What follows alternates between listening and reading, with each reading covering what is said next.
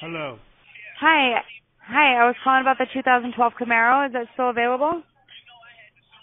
Wait, wait, wait. Who is this? Um, my name is Helen, and I do work for a private marketing and finance what firm. made you think you could call this number? Well, I didn't just call it. It just popped up on my screen. Okay, but I don't think you understand. Do you realize who you called? Do you know who I am? I don't. If you I haven't don't know who you are. realized, I am the President of the United States, the most important man in America, may I add. So tell me right now, what made you think you could call me?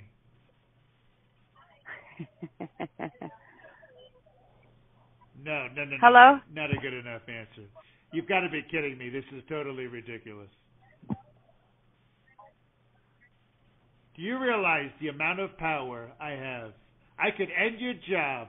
I could get you fired at the snap of a finger. Just like that. Do you realize that?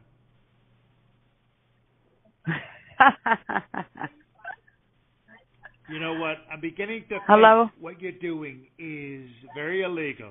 You cannot call someone like me out of the blue and not expect major consequences.